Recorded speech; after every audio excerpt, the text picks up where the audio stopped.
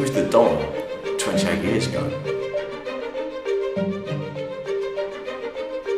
Everybody loved him.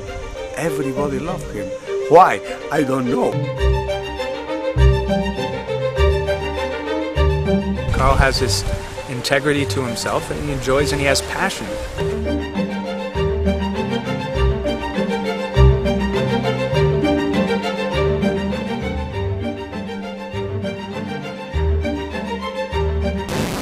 Put that there?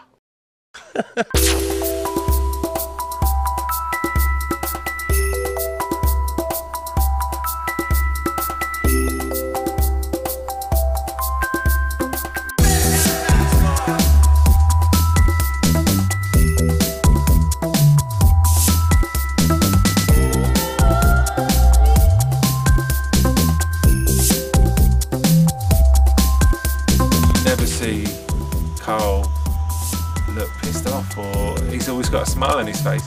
He's got the grin.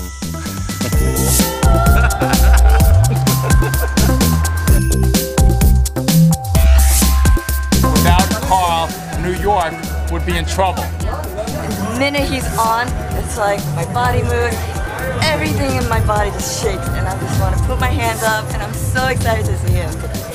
I got my headphones as usual.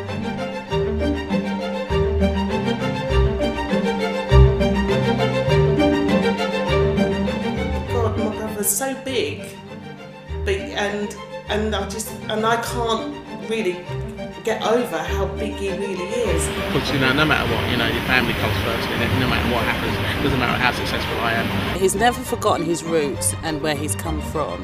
I am so proud of him. I am really, really proud of him.